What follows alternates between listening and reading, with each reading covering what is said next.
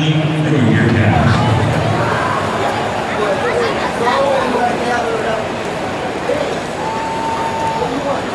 honor of those serving our nation at home and overseas, please join Arron Aguayo in the singing of our national anthem.